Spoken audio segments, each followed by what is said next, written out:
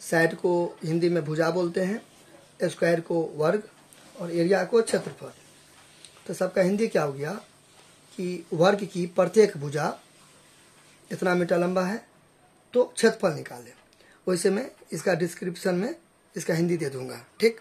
तो इसको कैसे बनाएँगे? सबसे पहले लिखेंगे सॉल्यूशन यानी कि हल। स्क्वायर है ना? स्क्वायर का फिगर ड्रॉ करेंगे यहाँ पे। क्या होता है स्क्वायर वर्ग को एक और नाम से जाना जाता है चौकोर। चौकोर। ठीक है, ये ज़्यादा फ़ेमस है। वर्ग, ठीक, ऐसे।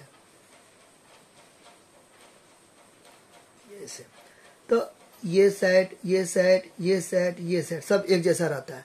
और एंगल क्या होता है सब? नब्बे डिग्री। यहाँ भी नब्बे डिग्री, यहाँ भी नब्बे डिग्री, यहाँ भी नब्बे डिग्री, यहाँ भी नब्बे डिग्री। तो स्क्वायर क्या है? All sides are equal in the square her side equal होता है। यानी कि ये जितना बड़ा, उतना बड़ा ये भी, उतना बड़ा ये भी, उतना बड़ा ये भी। सब एक जैसा रहता है, कोई बड़ा छोटा नहीं रहता, एकदम डिटो सेम रहता है। ये ये ये ये, चारों एक जैसा। मान लीजिए, ये अगर पाँच मीटर है तो ये भी पाँच मीटर, ये भी पाँच मीटर, ये भी पाँच मीटर, सब एक जैसा होता है। इसी को स्क्वायर बोलते हैं। और हर एंगल क्या होता है? हर कोण क्या होता है? नाइन्टी डिग्री होता है, एकदम स्ट्रेट लाइन ठीक है? अच्छा। अब यहाँ पे आपके क्वेश्चन में क्या कर रहा है? इच इच मतलब सब, एक, दो, तीन, चार, सब, जितना भी है सब ऑल साइड ठीक है? और यहाँ पे इच साइड यानी कि हर एक साइड कितना है? इतना मीटर लंबा है। इतना मीटर लंबा, इतना मीटर लंबा है।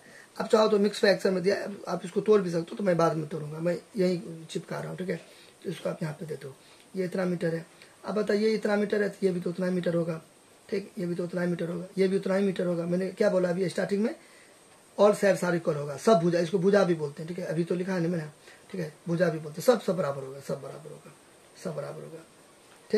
इसको आप कुछ नाम भी दे सकते हो, कुछ नाम भी दे सकते हो। ए दे दो, बी दे दो, सी दे दो, डी दे दो। ऐसे लेकर जेड तक का कोई भी लेटर आप यूज़ कर सकते हैं। तो क्या कहता है? निकालने के लिए एरिया यानी कि इसमें कितना स्पेस है, कितना जगह है बीच में। देखिए, मैं घस रहा हूँ। देखिए, ये जो है ना तो मैं अभी पेंसिल से घस रहा हूँ, यही एरिया होता है। मतलब इसमें कितना जगह है, कितना जगह ये कवर किया है। यही होता है, यही एरिया हुआ ये, ठीक है? जो मैं घस रहा हूँ ना, जो पार्ट को, ये रीजन को, क्षेत्र को, ये हो गया। यही निकालना है, जिसको मैं भी घस रहा हूँ। तो ये कितना है, ये निकालना है ये साइड को रिप्रेजेंट करते हैं स्मॉल ए से और एरिया को रिप्रेजेंट करते हैं कैपिटल ए से क्लियर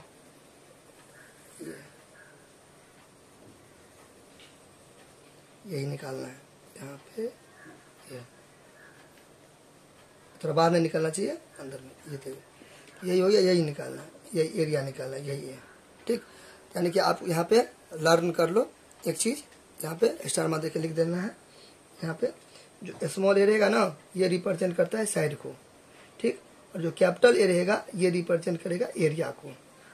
क्लियर ये आपको याद रखना है। Small A that means side capital A that means area clear अच्छा। तो बीच में जितना पार्ट मैंने ऐसे करके पेंसिल से घसा है, वही निकालना है, ठीक है? तो अब देखिए, आपको फॉर्मूला याद करना पड़ेगा। एरिया क्या होता है? यहाँ पे लिख देंगे area of square area of चूँकि लिख दीजिए, विनोद लिख दीजिए अकॉर्डिंग टू द फॉर्मूला जो बनता लिख दीजिए, ठीक है? जो मन होता मतलब जो बोला है, उसके अंदर में दो तीन मैंने बोला ना, उसके अंदर यानी कि जो मन होता है, वो लिख दीजिएगा। वी नो दैट या according to the question according to the formula या चूँकि मतलब जो मन होता है, वो लिख देना, ठीक है? Area of square area of square तो इसका क्या होगा? सेड स्क्वायर तो आप ए स्क्वायर भी लिख सकते हैं स्मॉल ए स्क्वायर भी लिख सकते हैं, ठीक है? तो आप अगर चाहते हैं कि साइड स्क्वायर लिखे तो साइड स्क्वायर लिख देंगे। साइड स्क्वायर या इच साइड स्क्वायर या one side square side square ठीक? अच्छा। इसका हिंदी क्या हो गया? वर्ग का क्षेत्रफल। इसको हिंदी में क्या हो जाएगा इसका? वर्ग का क्षेत्रफल। क्षेत्रफल। तो कोई आपसे पूछेगा एरिया पे स्क्वायर तो साइड स्क्वायर ठीक है? फिर कोई पर्सन ऐसे होंगे, वो ये भी बोल सकते हैं एरिया पे स्क्वायर ऐसे करके भी बोल सकते हैं। एरिया पे स्क्वायर ऐसे भी बोल सकते हैं कि, चलो बताओ एरिया पे स्क्वायर तो आप ऐसे भी करके बोल सकते हैं उनको। Area of square area of A square A square. तो ये क्या चीज़ को रिप्रेजेंट करता है? अभी मैंने बताया ना साइड को तो एक ही बात है, ठीक है? अच्छा यहाँ तो कोई दिक्कत? बराबर देंगे। आप देखिए, कोई भी साइड उठा लीजिए, क्योंकि सब तो बराबर है ना जी, सब तो बराबर है ना? क्योंकि स्क्वायर है ना? तो कोई साइड उठा लीजिए, सब तो एक ही रंग है। तो मान लीजिए मैं ये मैं ये उठाता हूँ, ठीक है? क्योंकि सब तो एक ही रंग है ना? तो ये हो गया। इसको थोड़ा बोल्ड कर देंगे। इसको मैंने उतार लिया। फिर ऊपर में दो है तो दो दे दिया। बराबर। अब यहाँ पे, अब यहाँ पे, अब इसको तोड़ दीजिए। तोड़ना आपको आना चाहिए। मिक्स फ्रैक्शन में ना तो इसको तोड़ दीजिए। पाँच से पंद्रह, दो सत्रह होता है ना, देखिए, ये दोनों को गुना करते हैं। ये दोनों को गुना करते हैं, ऊपर को जोड़ देते हैं, ठीक है? तो पाँच से पंद्रह या तीन, पाँच पंद्रह तो पाँच से पंद्रह, और दो ऊपर का जोड़ देंगे तो सत्रह। सत्रह बटे तीन हो गया, ठीक है? मीटर लगाए ना तो मीटर भी लगा देंगे। मीटर भी लगा देंगे। हालाँकि मैं बाद में लगाता, लेकिन चलिए अब ये लगा दिया। स्क्वायर दे दिया। यहाँ तो दिक्कत? अच्छा। सत्रह बट्टा तीन मीटर कितना बार है? दो बार है। इसको एक बार लिख देंगे, फिर इसको एक बार लिख देंगे। क्यों लिख दिए दो बार? क्योंकि दो है ना, इसलिए दो बार लिख दिए अच्छा। अब क्या करेंगे? फ्रैक्शन वाला को एक जगह कर लेंगे, ठीक है? ठीक है फ्रैक्शन वाला को एक जगह कर लेंगे, यानी कि और जो ए बी सी डी वाला है एम है, इसको एक जगह। यानी कि न्यूमेरिकल वैल्यू सबको क्या कर देंगे? एक जगह ए बी सी डी वाला को एक जगह। ठीक है? यहाँ तो कोई दिक्कत? चलिए। आप सत्रह को सत्रह से गुना करेंगे तो दो सौ नवासी हो जाएगा, two two hundred, eighty nine हो जाएगा। आप कर लेना इसे करके। ठीक है? ठीक है? आपको कम से कम तीस तक याद रहना चाहिए अंदाजिए कि सत्रह को सत्रह से गुना करेंगे तो क्या होगा? इक्कीस को इक्कीस से गुना करेंगे, क्या होगा? सत्ताईस को सत्ताईस से गुना करेंगे, क्या होगा? ये आपको एटलीस्ट कम से कम मतलब तीस तक याद रहना चाहिए, ठीक है? जिसमें आपको टाइम बचेगा। देखिए, मेरा टाइम बचा ना, मैं तुरंत कर दिया। देखिए धीरे धीरे जाके कितना हो जाए नाइन हो जाएगा। अब बताइए, आपको कंसेप्ट पता होना चाहिए कि गुना में पावर जुड़ता है, ठीक है? ये कंसेप्ट आपको पता होना चाहिए ना, ये वाला।